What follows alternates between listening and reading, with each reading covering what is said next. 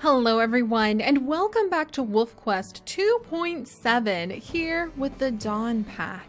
And we have finally finished with the second litter that Dawn and Onyx have been able to raise together and it did end in a few tragedies and a lot of mysteries and some paths that you guys had to vote on in order to pick who would inherit the side story that we have in between litters.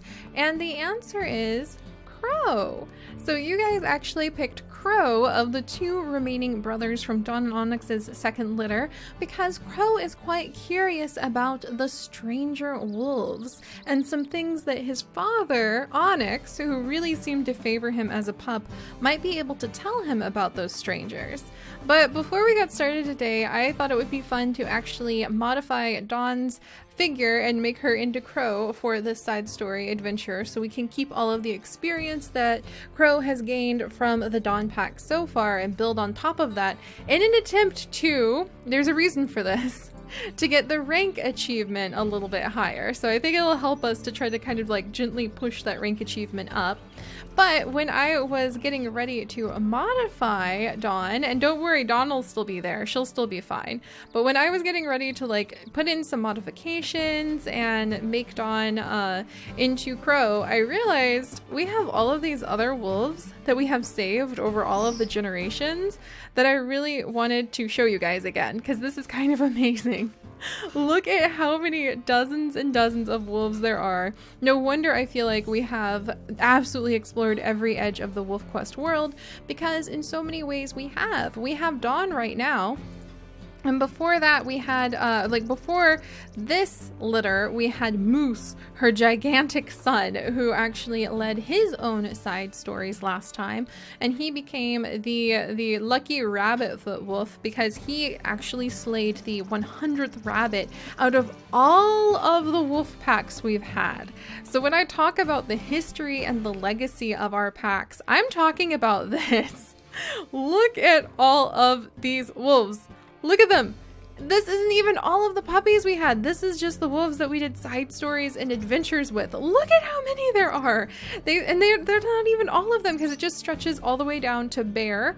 And then we've got Rain, we have Starlight, Pluto, Firestar, Rigel, Atlas, Nightlight. Oh, Nightlight and Eclipse.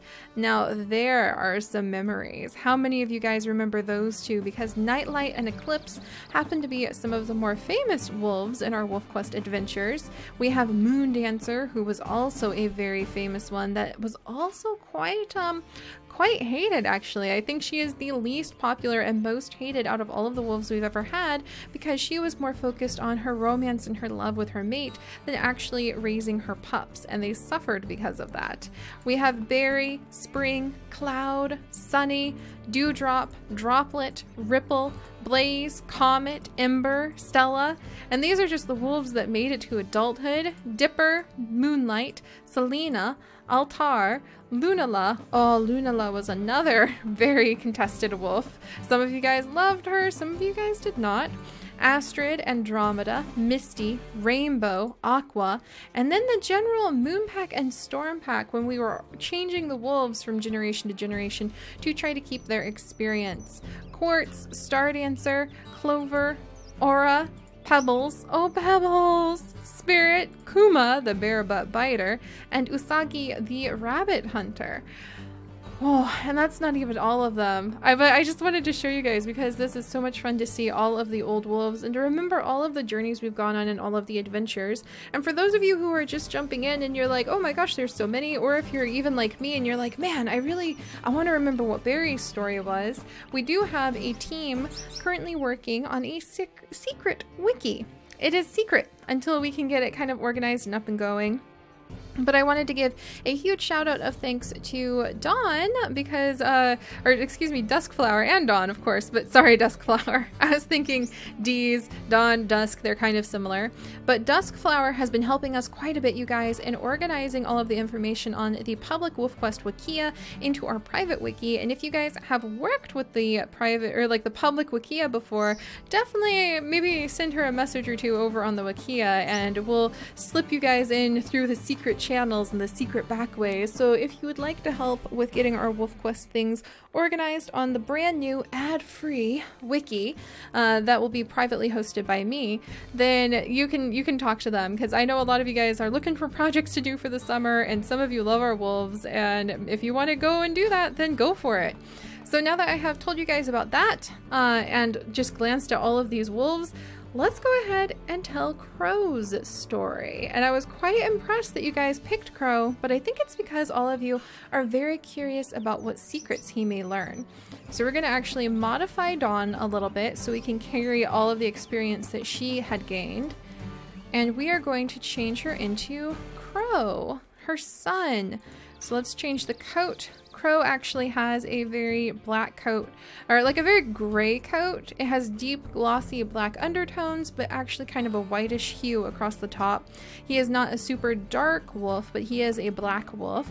And then he also is not as strong as his brother because of all of the sicknesses that he went through. He survived almost just through luck of all of those sicknesses as a pup. Nightpaw was the stronger of the two, and he is going to be he has more stamina as a result, but he is not as speedy and he's not quite as strong as, uh, hmm, let's actually pull his speed down a little bit more. There we go. Yeah, he's not as speedy or as strong as Nightpaw was.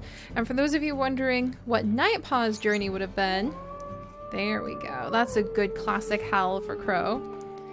For those of you wondering what Nightpaw's journey would have been, I'll let you know in just a little bit. But let's go ahead and begin life with Crow. And let me roll to see. Oh, he gets it pretty easy at dusk. So that's what his first day on Amethyst Mountain is going to be all about. Here we go. So we are beginning. Oh, there's a bear down there eating. I want... That's my food. All right, so he actually gets it pretty easy, which is pretty exciting for him. We change the difficulty every single day we play with our wolves. And this is, you know, this is a really sunny day. He kind of prefers the shadows. So we're gonna run over to this rock just because it's closest. And he's not exactly, oh, and that's a coyote. Oh, we chased the coyote out of the shadows. All right, let's go ahead and clear this coyote out of the way and gain his first bit of experience. Get out of here. And as usual, I kind of imagine since we can't eat the coyote that we're just sort of chasing it off. Uh, all right, we're gonna have Crow jump up here. And he's going to get himself comfortable under this boulder as he thinks about the fact, oh my gosh, there's the other coyote. really? Did we stumble on a den of coyotes like the first thing Crow does? Oh my goodness.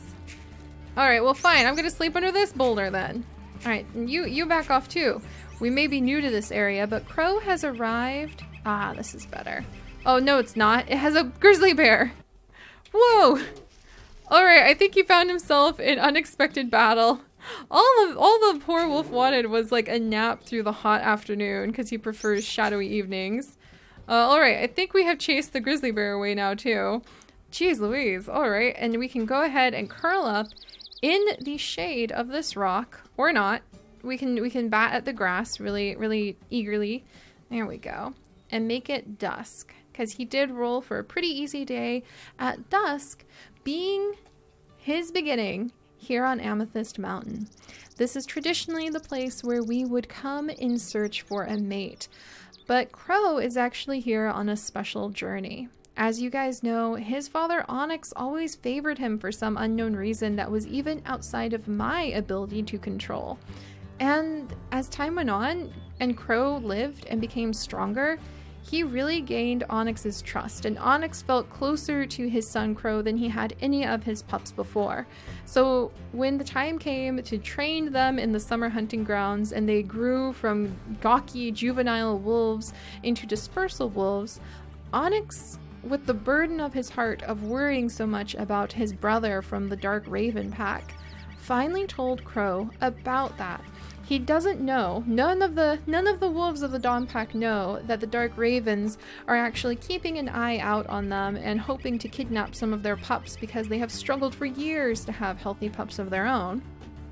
But they do know that something's up. They do know that, unfortunately, the brother that Onyx remembers from his youth is no more. Now that they have become different packs, they will have to fight one another for territory, and that there was something kind of mysterious about how Raven called his pack off of hunting his brother when his brother wandered into that stranger wolf territory when Crow, Nightpaw, and Primrose were still just pups. So he knows something's up and he knows that there are some secrets in the pack and it weighs heavily on Onyx, especially after such a disastrous second litter with Dawn. And it gave Crow a lot to be curious about. So that's why we're here. That's why we're here on this mountain because Crow wants to know the secrets. He is more interested in discovering what kind of secrets the various packs may have, what kind of plans may have been whispered on the winds, and using those secrets to take care of the Dawn Pack and hopefully take care of whatever branch of the family he might one day have. So Crow's job is to be the seeker of secrets and we are going to be traveling between the three different packs that are here on Amethyst Mountain, trying to find those secrets by confronting, fighting, and stealing the secrets from the different pack members. You're probably wondering, why that, Seri? Well, that's because we do have an achievement I am after called dun, dun, King of the Hill, where we need to win 50 encounters with stranger wolves. And that is actually where you have to fight with the stranger wolves that you meet while you're on Amethyst Mountain or you're over in uh, the big, empty, spooky um, city. So I decided Amethyst Mountain is our, our, our area of choice because that is where so many of the wolf packs gather. And Crow is very curious, much as his sister Primrose was. So he is going to be wandering through the forest, confronting each one of the different packs. We are actually going to be rolling a dice like we did with Moose and a few of the wolves in the past to determine if the packs we run into are aggressive, in which case we will fight them, or if they are so neutral that they don't know any secrets or they're just wandering through so we leave them be. And there's a little bit of a twist on this.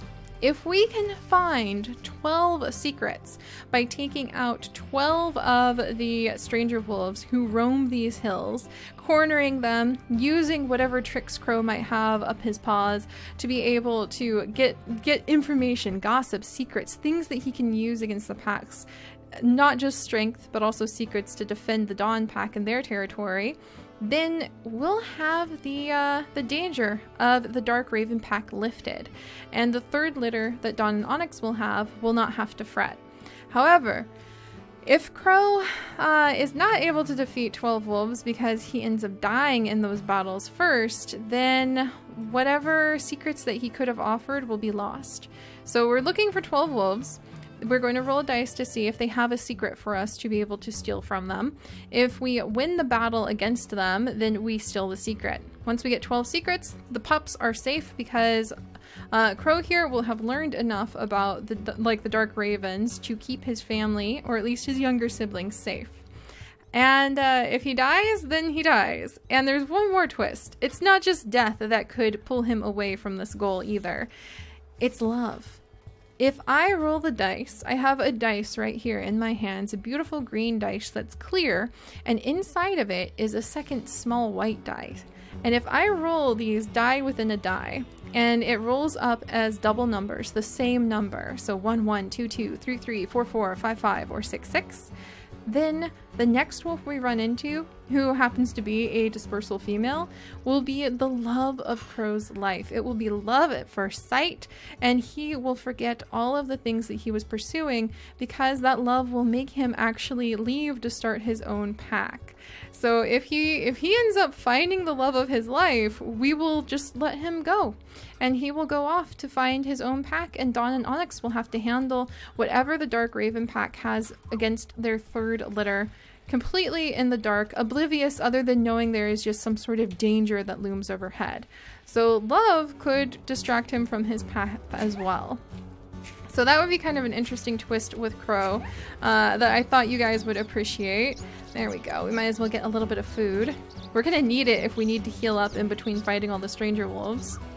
And then we'll see what kind of secrets we can get. And if we have enough secrets, uh, then hopefully we'll be able to save the third litter. And who knows, maybe some of the things that we learn and maybe some of the secrets you guys can have us learn about could end up being useful in the future. It could make our hunting easier some days.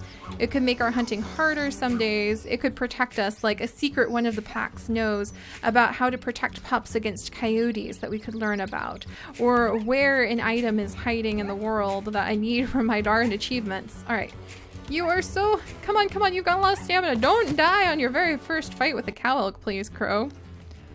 But it's gonna be interesting. So yeah, Crow has a chance of falling in love and also like leaving all of the secrets behind to go and start his own family and his own pack. It's it's gonna be a fun one. Along the way, I'm just hoping that we'll be able to battle enough that we can get closer to the King of the Hill encounter, and we'll just keep fighting either until we have all 12 secrets or until we fall in love. There is a pretty good chance that that could happen too. And once we're done with gathering the secrets, then the third litter will be safe and we'll have to leave the job. Unless Crow manages to pull it off, we will have to leave the job of getting all the way up to 50 encounters with a stranger wolf in the paws of a future member of the family. So that is going to be his journey. He's very curious, and I'm very curious because it'll be really fun after we win every battle for you guys to come up with short little secrets that he learned from the other wolves that we might be able to use as big drivers for our stories in the future.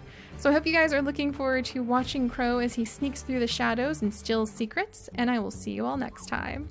Bye-bye!